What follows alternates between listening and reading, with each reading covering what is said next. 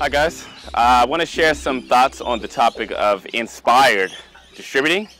There's a lot that could be said on this topic, but for the sake of this video, I'm going to mainly focus on the overriding principles while touching just a little bit on some of the specifics.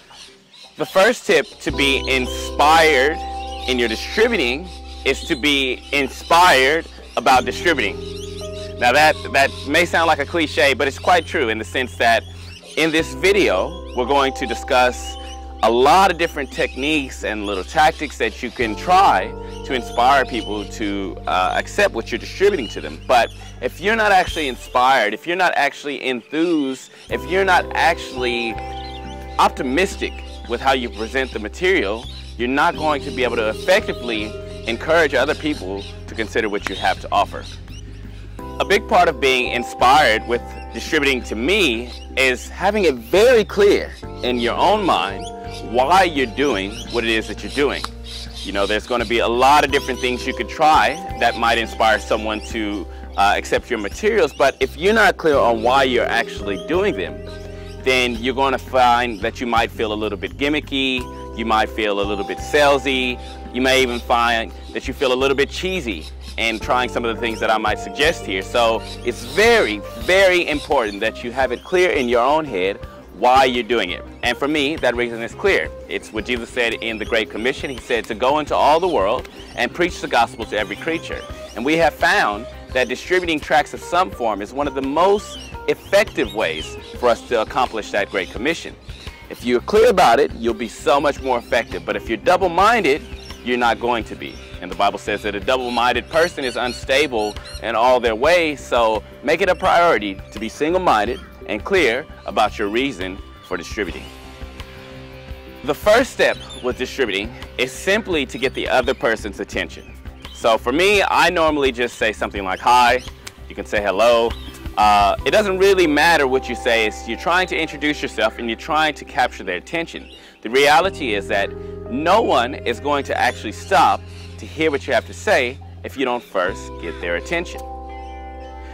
Psychology tells us that with interpersonal communication, especially at the start, over 90% of what the other person is actually hearing is not actually what you're saying, but rather what you're communicating through your body language. Only about 7% of what they're actually taking in is your actual words. So does that mean that we can just speak anything, just total garbage, and they won't pay attention? No, it doesn't mean that. But what it does mean is that if we want them to actually take the time to try to understand what we're communicating, we first have to be very present and very mindful with our body language because that's what they're listening to when we first start the interaction. Arguably the most effective and universal way to communicate through your body language, friendliness, openness, and pleasantness is simply to smile. So when you go to introduce yourself and to get their attention, make sure, if you can, that you do it with a smile. It really, really does help. Confidence is another very important trait that we want to convey when we're out distributing. So you can do this in a number of ways, but remembering the focus on our body language, you want to have very good upright posture.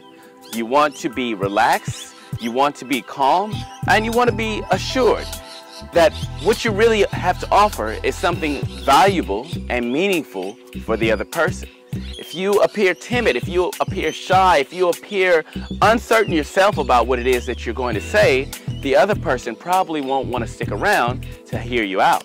But if you can convey confidence along with friendliness and along with pleasantness, the other person is more likely to stop and to hear what you have to say.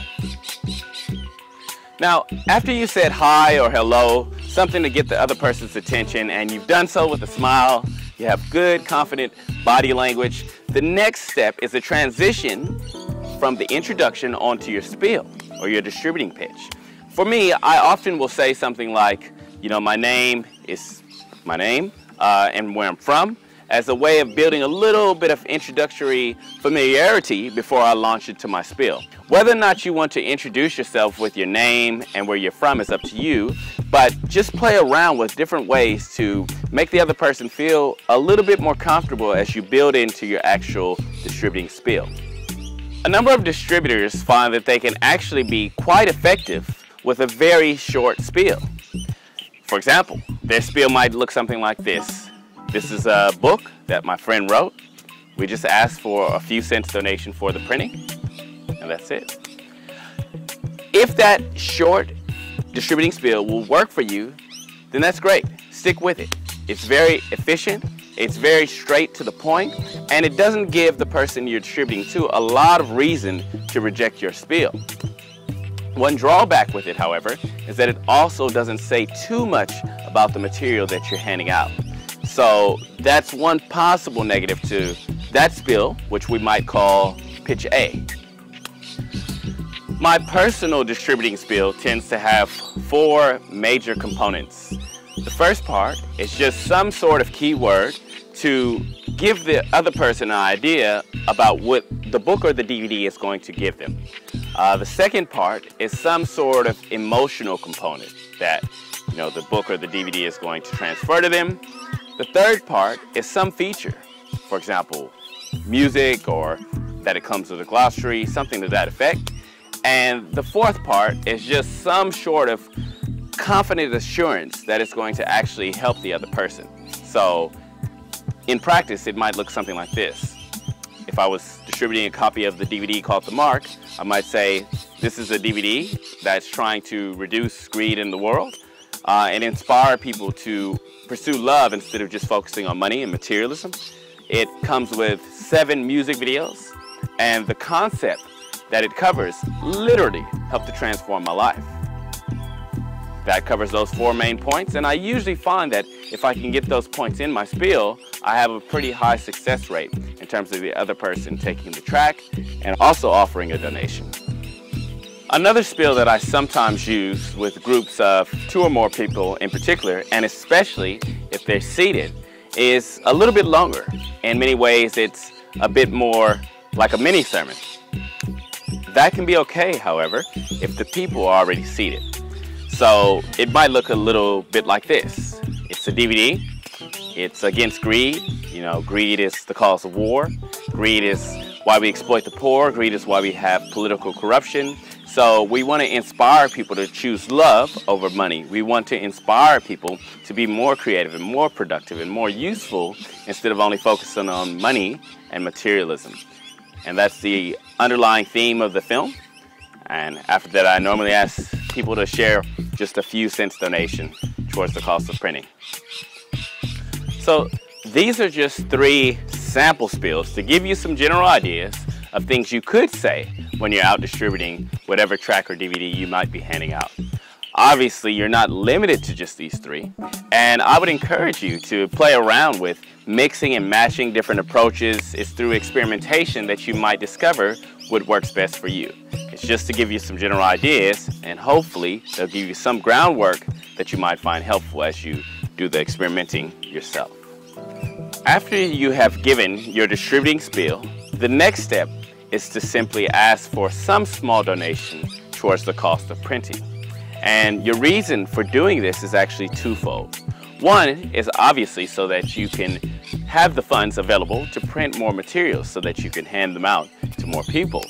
But also, psychology tells us that people are more likely to actually value something if they give something for it. And a good brother of mine and I, we, we recently did a bit of an experiment where we were handing out books for free uh, outside of a busy station. Uh, we did maybe about a thousand books in a day where we handed them out for free. And the number of those books which we found that were either littered, thrown in the rubbish bin, or just lying down on the floor, left as if they were not worth anything, it was just painful to observe. And it really, really reinforced in my mind the reason why we ask people to give something for what they receive. The simplest way to ask for a donation is to simply ask for a few cents donation at the end of your spiel. It's very simple, it's very straight to the point, and if it works for you, then that's great. I encourage you to try it. In recent years, however, more and more people have stopped carrying cash or coins and instead have started using either cards or even devices for payment via their phone. So you might find that when you ask someone for a few cents donation, their response is to tell you that they have no money. Of course, sometimes when they say that, they're not really telling the truth, but other times they are telling the truth. They literally don't have any cash or physical money on their person. I'm usually prepared in my own mind for the likelihood that they're going to tell me they have no money, and I have a response already prepared in advance. When they say, I don't have any money, I usually respond by saying, well, what if I were to say that it doesn't have to be money? Generally, they respond to that by saying, well, what do you mean? And that's when I'm able to move on to the next part of my spiel with regard to asking for a donation. When they ask that, I normally explain a little bit about the concept of a gift economy and how they can literally share anything they like. I try to explain that it's not so important what they share, but just the idea that they give something of value that shows that they're interested in what they receive. Uh, a lot of times I may even off offer some examples of things they can give. So, for example, I might say you can give a writing pen, which is a, a common item of value that a lot of people carry. Or I might say if they have a card that they could buy me a coffee. Or I might say that they can give some gum, which is another item that a lot of people carry. Basically, it doesn't so much matter what it is they're giving, but just if it has value, it shows that they actually value what they receive. And it means they're that much more likely to actually read or to actually watch what you're giving them as opposed to if you gave it to them and they gave nothing in exchange.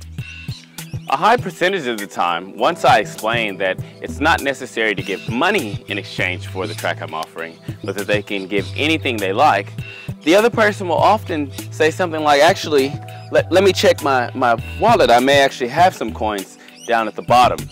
And that goes to show that once it became clear for them that it wasn't really their money I was after, they suddenly became more inspired to actually share something because they could see that my motivation was not financial. Of course, other times I have had people that do give me things in exchange. Everything from coffees and teas to gift cards, bracelets, even this little necklace that I'm wearing. People will share whatever they feel inspired to share, and it's up to us to be prepared to freely receive it. And to me, that's a large part of the fun. Now, if someone tells me they have no money and I tell them it doesn't have to be money that you give, and yet they still don't want to share anything on their person, whether it's a pen, whether it's a gum, whether it's an old gift card, I tend to accept that what they're kind of communicating is that they're just not interested. Obviously, you're going to have exceptions. You will find individuals who literally have nothing, no money, no objects, nothing they can give. And if you're fairly convinced that that's the case, then by all means, give them the tract for free. But on the whole, I tend to find that if people don't want to part with anything, what they're kind of saying between the lines is I'm simply not interested. And that's okay. They don't have to be. It's up to them. We just have to give them the opportunity to accept something that could potentially change their life for the better. Of course, in order to get someone to stop and give us a donation for what we're offering, we first need to manage to get them to stop. And that can at times be a bit tricky. You know, it's very easy to do if someone's already seated, if they're already slowed down, if they're already come to a halt. But if they're on the go, it can be a little bit difficult to convince them to actually slow down and stop for you. So in light of that, I'm going to give you a suggestion or two that you could try to make that happen. A street charity collector who was quite good at getting people to stop once shared with me a technique called the 10-5-2 principle. And it basically goes like this. When someone is 10 meters away, you greet them by saying hi or hello.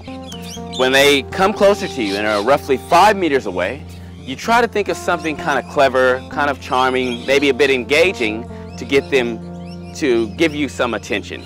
It's a way of getting their interest before you move on to your shooting spiel. So for example, I might say something like, hey, you're a dude, I'm a dude, come on man, let's chat. Even something little like that can be enough to convey your personality, to show the other person that you're a real person, and to get them to actually stop, plant their feet, and hear what you have to say next. Finally, when they're roughly two meters away, I'll often stretch out my hand to shake their hand, or I might move on directly to offering them the book or the DVD. At this point, they've known enough and they've seen enough to be convinced that at least you're not some crazy guy that's out to attack them, but rather you're a friendly person that's trying to offer them something that seems pleasant and that seems upbeat. And that's often enough to effectively transform your distributing process. So along those lines of the 10-5-2 principle, I have another little gimmick that I often use that not only can create interest and openness in the other person, but often manages to lift my own spirits as well. So it's basically just asking the other person how they feel about high fives. The way it works is kind of like this. When they're 10 meters away, once again, you just say hi. When they're five meters away, you could say, hey, how do you feel about high fives? And finally, when they're two meters away, you just put up your hand and you offer them a high five. Now, will they always take the tract after they've done that? No, not always, but I usually find that just that short interaction puts a smile on their face, makes them more open to what you have to offer, and can often help to make you feel a bit happier inside yourself. And that has a twofold benefit in the sense that it makes the other person more inclined to receive what you're offering, but it also has a knock-on effect for the next person that you approach because you'll be in a more positive state and that will transfer to the other person, making them more likely to stop. It's been said that motion creates emotion, and since so many people buy things on the basis of their emotions rather than on the basis of logic, it's very crucial that we be mindful of the emotional state that we're projecting when we're out distributing. So if you're outside of a busy shopping center or a busy train station and hundreds of people are walking past you and you're getting tons of rejection, you may find that your emotional state quickly denigrates. And this can prove exponentially detrimental to your distributing experiences the other person coming behind since it's your negative state and rejects you on that basis. To combat this tendency, I try to find spots where I can move around a bit, where I have the ability to create a different emotion, even if my first or last encounter with a person I'm distributing to is a bit negative. I can change directions, I can move a little bit, and I can transfer from a negative state back to a positive state so that I'm able to convey those positive emotions to the person that I'm approaching. You're probably familiar with the phrase following the crowd. And unfortunately, it's just a reality that in a crowd, most people will follow the crowd. Rather than taking the mental effort to actually make judgments based on what they have experienced and seen with their own eyes, they will base their judgments on the perceived judgments of those around them.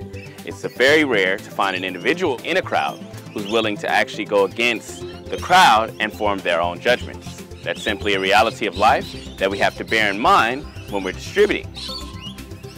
So, relating that to what we just covered earlier about walking, motion, and emotion. Say you're in a crowd and the person you offer a tract to rejects your offer, and then the next person says no, and then the next person says no. The chances are that the following people that follow in that crowd are just going to copy and mimic the behavior of the people in front of them. What that means is you might find yourself getting a barrage of rejection that only further reinforces in the mind of the public that what you have to offer is not worth accepting. Now, how do you combat that? You can consider things like turning and changing direction after you get a rejection. So if you're going in one direction and someone refuses your approach, consider turning the other way, changing your emotion, changing your focus, walking in the opposite direction and offering someone else. The other person on the other side may not have seen you just get rejected and they may be more neutral to actually hearing you out and accepting what you have to offer. Don't get trapped in the rut of just staying flat-footed, staying stationary, and letting person after person say no. That will only enhance the crowd effect and denigrate your distributing. So try to move around a bit. Try to enhance the motion and emotion that you're conveying and try to diffuse the crowd effect by changing direction if it's going to be helpful. Distributing in car parking lots for example, outside of a Walmart shopping center, is usually a bit different from distributing on the high street or in front of, for example, a busy train station. The people in parking lots tend to be a bit more relaxed and a bit more casual than people on the main street. And that's something that you need to be mindful of when you're considering your approach with car park distributing. Timing is an important factor to be mindful of as well when you're doing parking lot distributing. For the most part, you don't want to offer a tract to someone that's on their way into the store. It's much better if you can focus primarily on people coming out of the store and get them as they're approaching their car or as they're leaving the shopping center as opposed to going in. Location is something that you want to be mindful of as well when you're doing parking lot distributing.